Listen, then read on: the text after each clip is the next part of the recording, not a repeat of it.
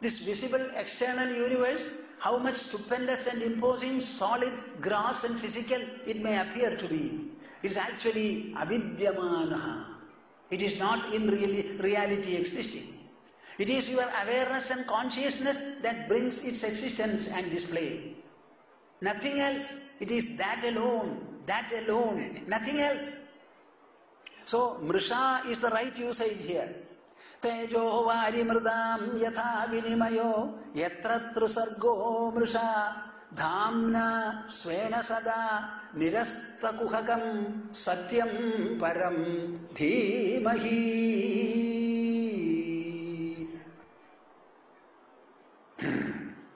निरस्तकुहकम् The supreme reality is such that at every point of time it is not affected, engulfed, or overtaken by anything like Maya, anything like a jugglery.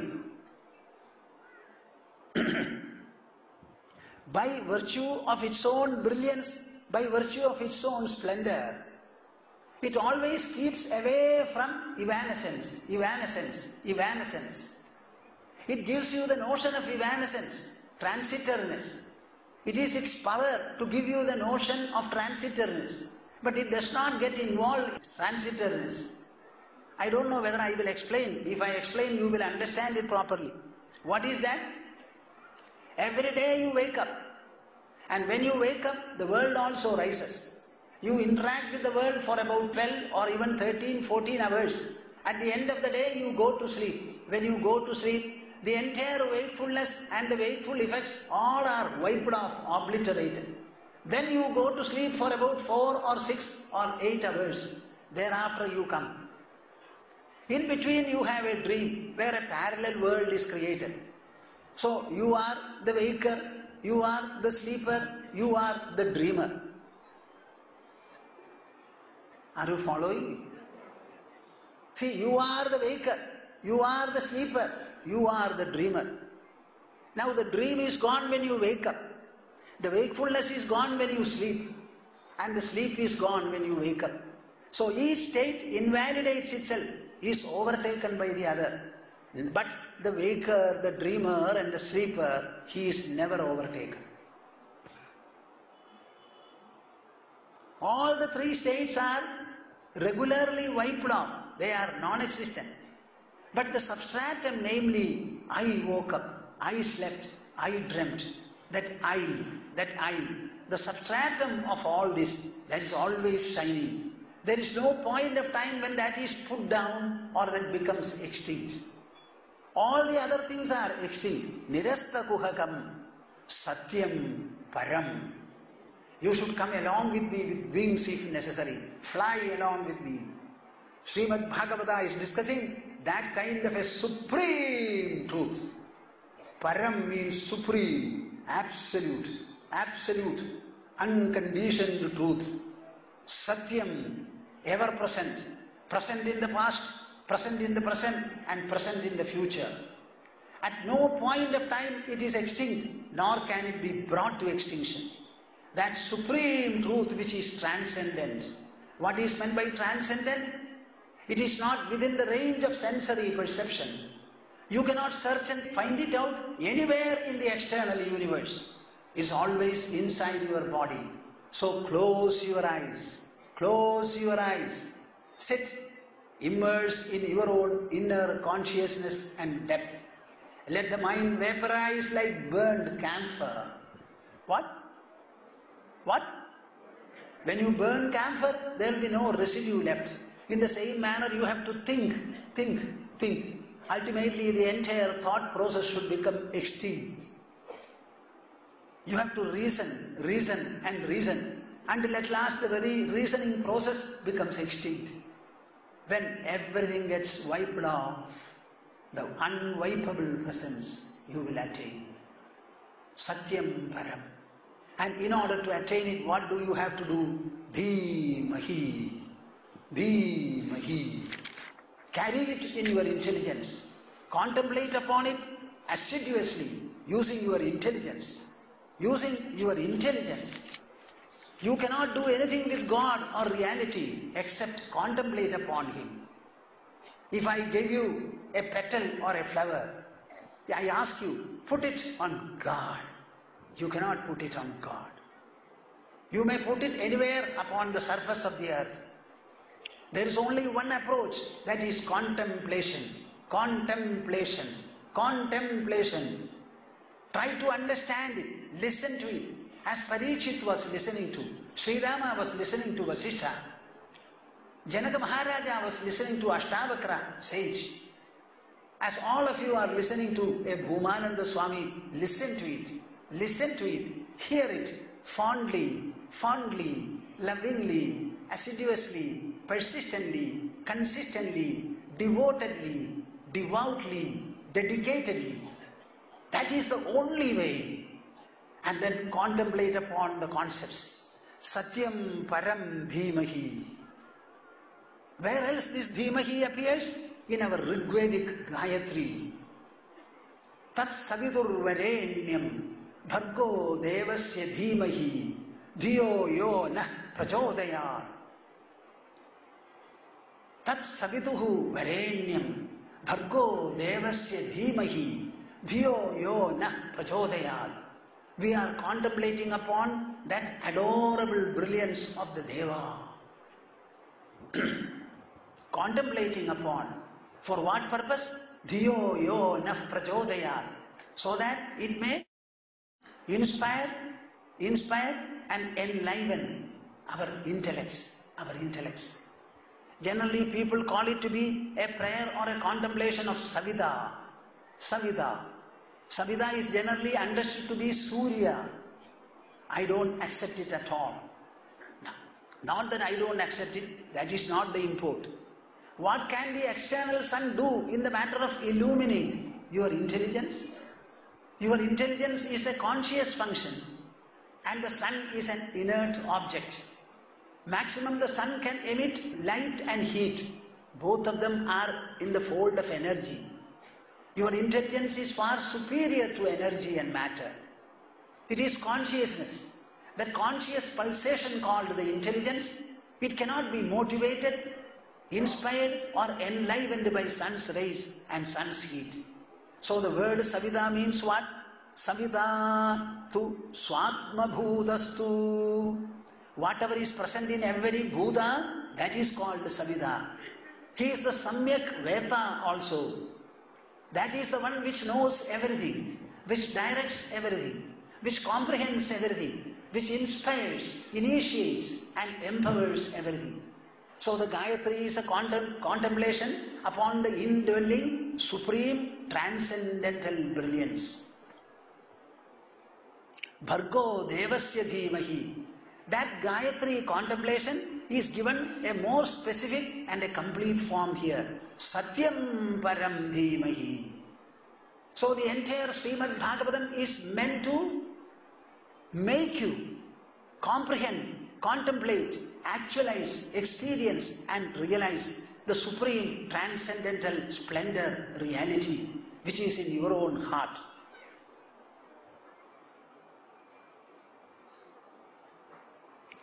I am reminded of Kenopanishad. What does Kenopanishad say? Keneshitam padati preshitam manah Kena prana prathama praiti yukta Keneshitam vajamimam vadanti Chakshushrotram kaudevo yunakti The Kenopanishad means by what Upanishad? Kena means by what?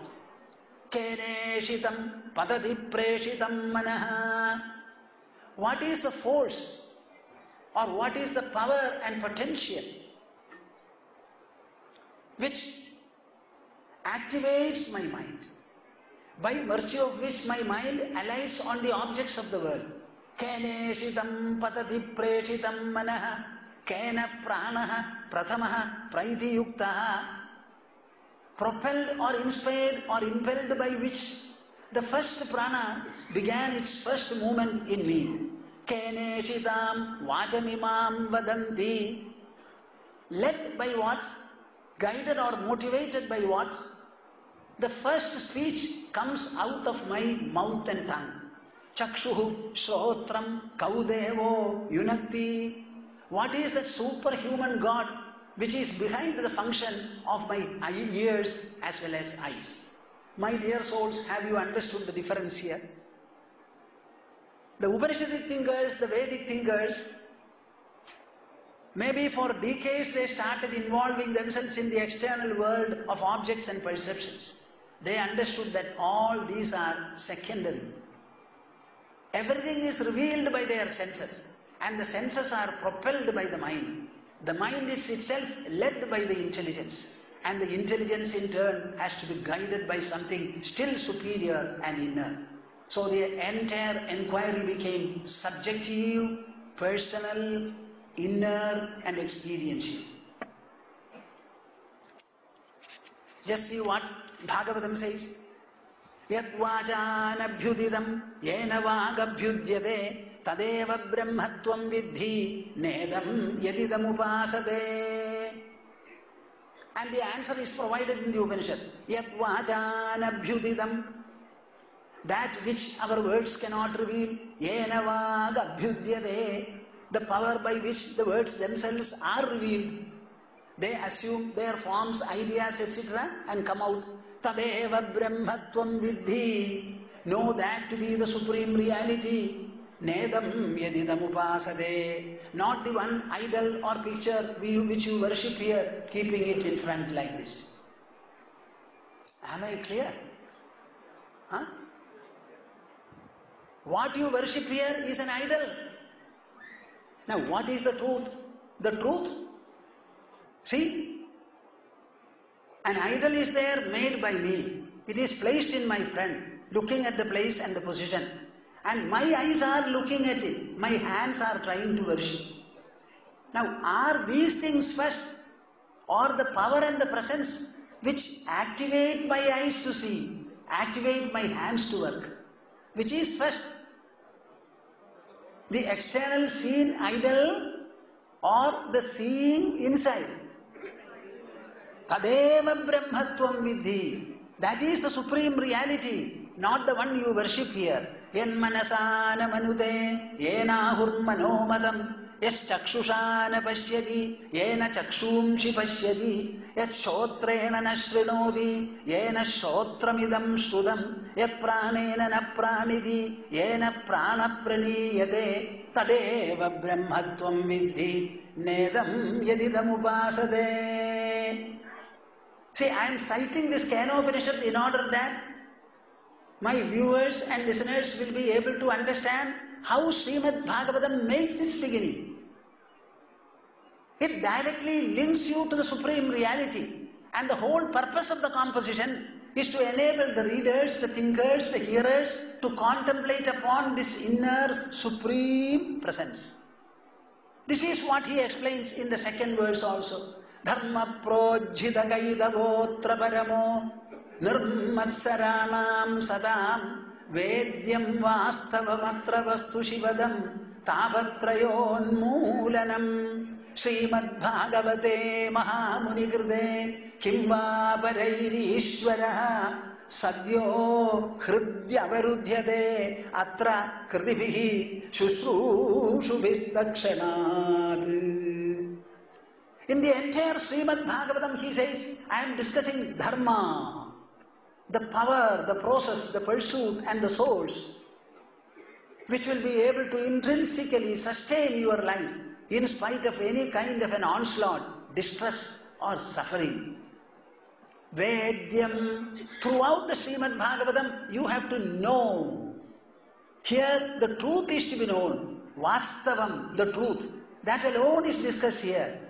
Atra vastu shivadam. It is the one that is auspicious. That alone will be able to shower auspiciousness in your life. The entire world will give you what? Tapatrayam. The adhyatmic suffering, the adhibhaudik suffering, and the adhidevic suffering. If all the three sufferings have to be redressed or eliminated, there is only one way. By coming to know the supreme truth, the reality, which is auspicious, and by virtue of its auspicious splendor, it will be able to remove all the darkness of suffering. Bhagavate Mahamuni Grde.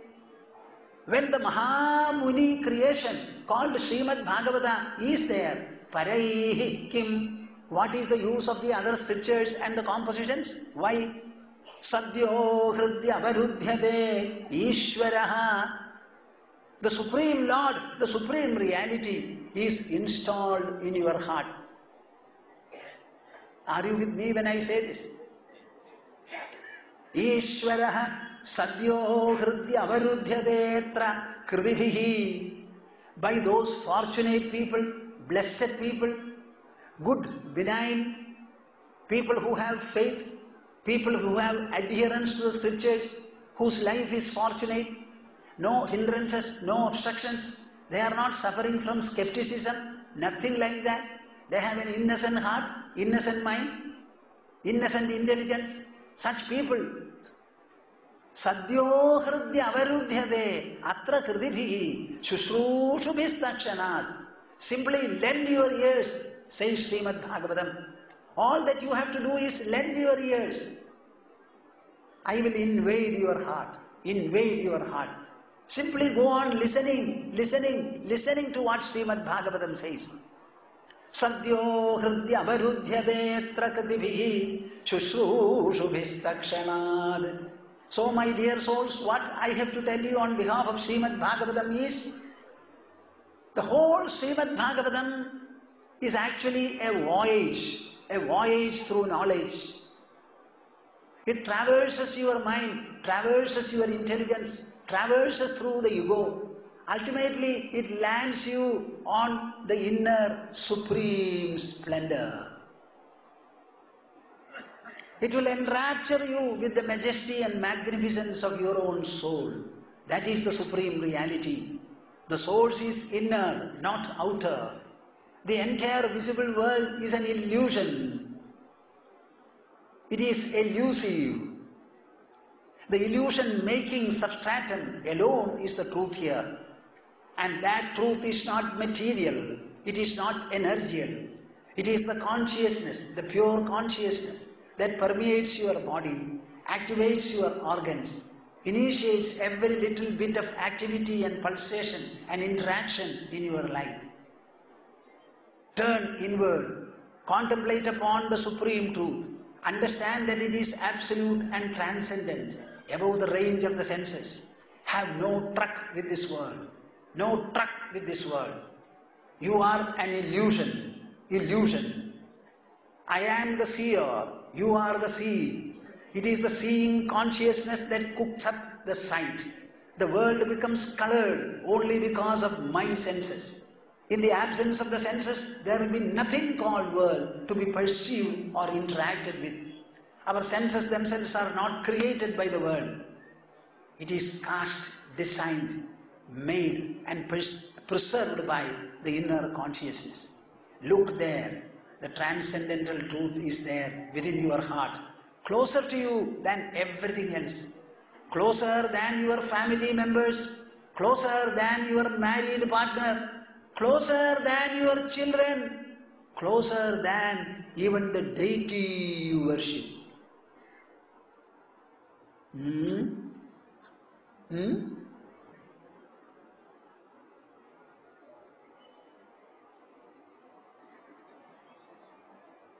Hanuman. There was a Rama there. See? Carrying the heart and the chest. My dear souls, don't be beggars. Don't be poor.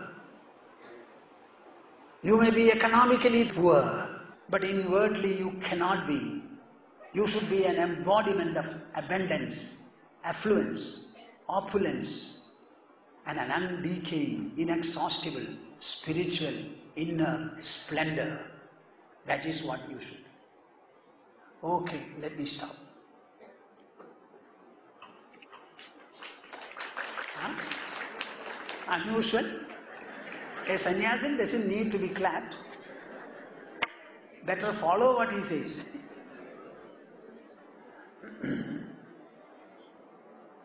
शान्तस्वभावमजरात्मकमेकसत्यम् संवित्पदं निरुपमं कलनाविहीनम् अन्तर्बहिश्च बहुधा व्यवहार्यमाणं तद्दैवमेव मम सर्वम् अहं तदेव പ്രബുദ്ധം വിമുക്തം വികാരാദിഹീനം പ്രസന്നം സദാ നിത്യബോധസ്വരൂപം. പരം നിശ്ചലം നിർഗുണം സർവരൂപം. ഭജേഹം സദാനുസ്മരാമി പ്രണോമി Hari Hari. All of you together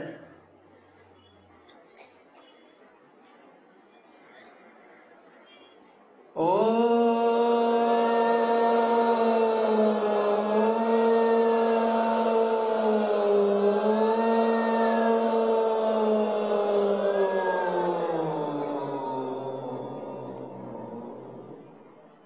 Om.